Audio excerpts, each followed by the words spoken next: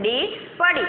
આગળના પાઠમાં આપણે જોયું કે રિયા રિયાની મુસાફરી, તો રિયા ટ્રેન દ્વારા મુસાફરી કરીને તેના મામાના ઘરે વાપી જાય છે. તો ગાંધીધામથી વાપી વચ્ચે રિયાએ કયા કયા સ્ટેશનો જોયા હતા? આપણે તે જોયું કે સામખિયાળી જંકશન, અમદાવાદ, પછી નડિયાદ જેવા સ્ટેશનો સ્ટેશનો પાસે રિયા પહોંચે છે. હવે રિયા આગળ આગળના કયા સ્ટેશને પહોંચે છે તે આપણે આ પાઠની અંદર જોવાનું છે. અને હવે રિયાની મુસાફરી, હવે રિયા કઈ રીતે મુસાફરી કરે છે તે જોઈએ. તો રિયા, રિયાની ટ્રેન સવારના પાંચ વાગ્યે વડોદરા સ્ટેશને પહોંચી હતી. રિયાની ટ્રેન હવે વડોદરાના સ્ટેશન પર પહોંચે છે. ત્યારે સવારના કેટલા વાગ્યા હતા?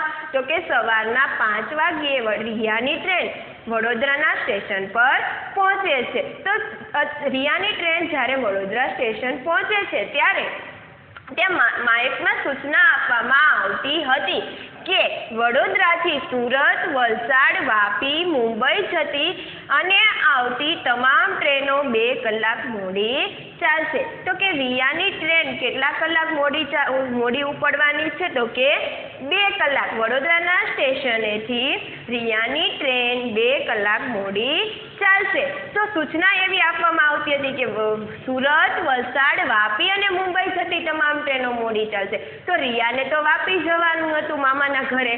તો રિયાની ટ્રેન પણ બે કલાક મોડી ચાલશે. વડોદરાના સ્ટેશનેથી રિયાની ટ્રેન કેટલા કલાક મોડી ચાલશે? બે કલાક.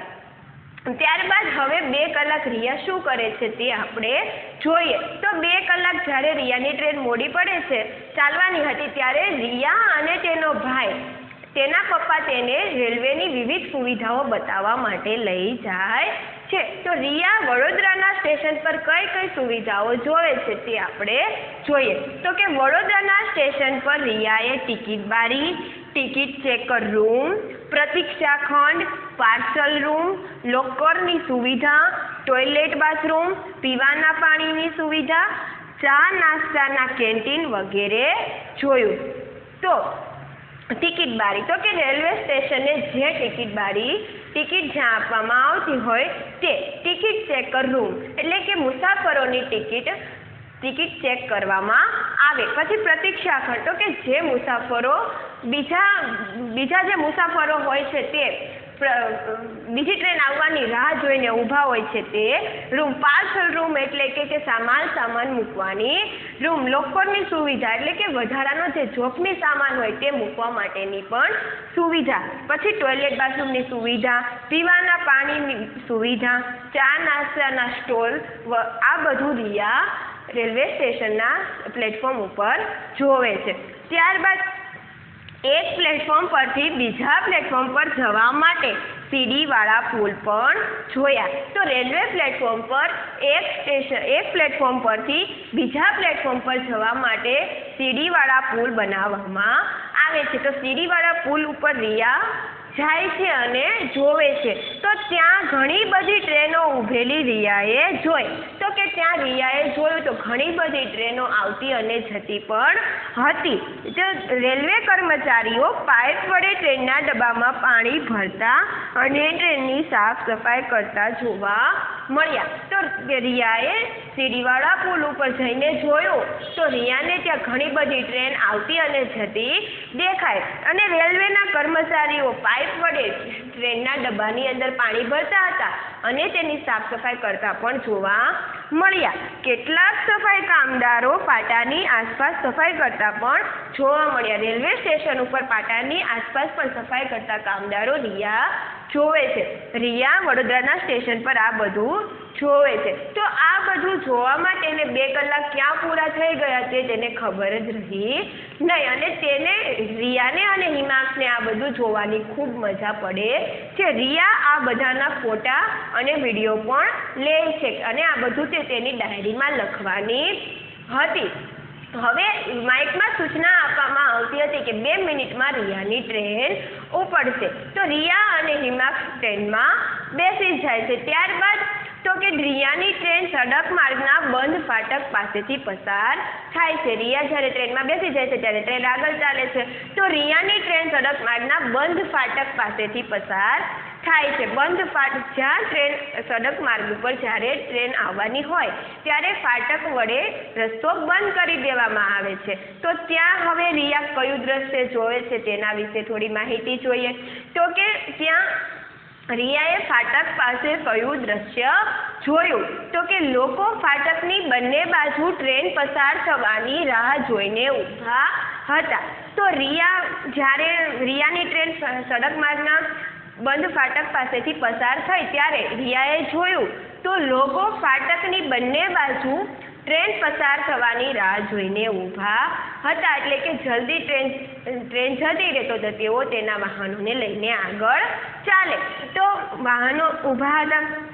ત્યાં વાહનો તેમજ માલસામાન ભરેલી ટ્રકો જોવા જેવા વાહનો પણ ઊભા હતા. તો કે વાહનો, બસ, સાયકલ, સ્કૂટર, રિક્ષા જેવા વગેરે વાહનો પણ ઊભેલા જોયા અને માલ સામાન ભરેલી ટ્રકો પણ ઊભેલી રહ્યા જોવે છે. પછી કેટલાક લોકોએ તેમના વાહનો બંધ કરી દીધા હતા અને કેટલાક લોકોએ તેમના વાહનો એમ એમ જ ચાલુ રાખીને ઊભા હતા. તો ત્યાંનું વાતાવરણ અવાજ અને ઘોંઘાટ ધુમાડાવાળું હતું. વાહનો ચાલુ હોય તો અવાજ અને હોર્ન વગાડતા હોય કોઈ લોકો.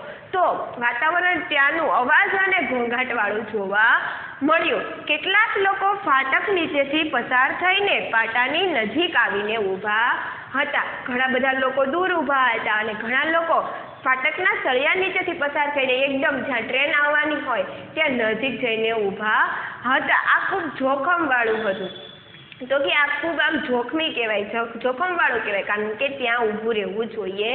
નહીં, અકસ્માત થવાની આપણને સંભાવના રહે છે. જ્યારે ટ્રેન આવવાની હોય ત્યારે આપણે થોડું દૂર ઊભું રહેવું જોઈએ. તો રિયા આ બધું દ્રશ્ય ફાટક પાસે જોવે છે. તમને પ્રશ્ન પૂછાય કે રિયાએ ફાટક પાસે કયું દ્રશ્ય જોયું? તો તમારે આ લખવાનું છે. હવે રિયા બંધ આંખોએ ટ્રેનની અંદર બારી પાસે બેઠી હોય છે. ત્યારે રિયાની ટ્રેન થોડી આગળ ચાલે છે તો અચાનક રિયાને ખડ ખડ ખડ ખડ એવો અવાજ સંભળાય છે. તો રિયા બારીની બહાર જુએ છે. અને રિયાને રિયાને એવું લાગે છે કે તેની ટ્રેન એક નદી એક મોટી નદીના પુલ પરથી પસાર થઈ રહી છે. તો તે તેના મમ્મીને પૂછે છે કે, મમ્મી, આ કયો પુલ છે? તો રિયાના મમ્મી તેને કહે છે કે, આ નર્મદા નદીનો પુલ છે. તે જ સમયે રિયાની ટ્રેન બાજુમાંથી બીજી ટ્રેન પસાર થઈ ત્યારે હિમાક્ષ અને રિયાએ ટ્રેનના ડબ્બા ગણવા પ્રયત્ન કર્યો. રિયાની ટ્રેન જ્યારે ફાટક માર્ગ ફાટક માર્ગના રસ્તાની પાસે હતી, ત્યારે તે જ સમયે રિયાની ટ્રેનની બાજુમાંથી બીજી ટ્રેન પસાર થાય છે. તો બાજુમાંથી બીજી ટ્રેન પસાર થાય છે, તો રિયા અને હિમાક્ષ ડબ્બા ગણવા પ્રયત્ન કરે છે, પરંતુ તેઓ ડબ્બા ગણી શકતા નથી. કારણ કે ટ્રેન ખૂબ જ ફાસ્ટ ચાલતી હતી અને રિયા જે ટ્રેનમાં બેઠી હતી તે ટ્રેન પણ ચાલુ હતી. તેથી હિમાક્ષ અને રિયા ટ્રેનના ડબ્બા ગણી શક્યા નહીં. કે રિયાની ટ્રેન એક મોટી નદીનો પુલ પસાર કરી રહી હતી. હવે આપણે આગળ જોયું કે રિયા બંધ આંખોએ જ્યારે ટ્રેનમાં બેઠી હતી, ત્યારે રિયાની ટ્રેન એક મોટી નદીના પુલ પરથી પસાર થઈ હતી. એક મોટી નદીનો પુલ જે કયો હતો? તો કે તે નર્મદા નદીનો પુલ હતો. તેના મમ્મી તેને કહે છે કે આ નર્મદા નદીનો પુલ છે. નર્મદા નદી ગુજરાતની સૌથી મોટી નદી છે. કઈ નદી ગુજરાતની સૌથી મોટી નદી છે? તો નર્મદા નદી ગુજરાતની સૌથી મોટી નદી છે. આ નદીનું પાણી નહેર દ્વારા દૂર દૂરના વિસ્તારોમાં પહોંચાડવામાં આવે છે. કઈ નદીનું પાણી? તો કે નર્મદા નદી ગુજરાતની સૌથી મોટી નદી હોવાથી પાણીથી ખૂબ ભરપૂર હોય છે.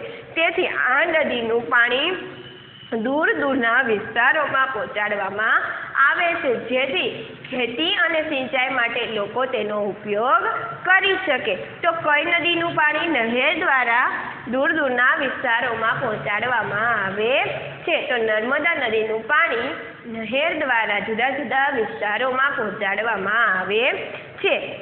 હવે રિયાની ટ્રેન, રિયાને થોડેક દૂર બીજા બે પુલ પણ દેખાતા હતા.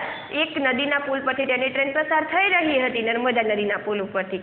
અને બીજા એને દૂર બે, બીજા બે પુલ પણ દેખાતા હતા. તો રિયા, રિયાના પપ્પા તેને કહે છે કે તે કયા કયા પુલ છે તે હવે તેને તે સમજાવે છે. તો કયા કયા બે પુલ છે? તો કે ગોલ્ડન બ્રિજ અને કેબલ બ્રિજ.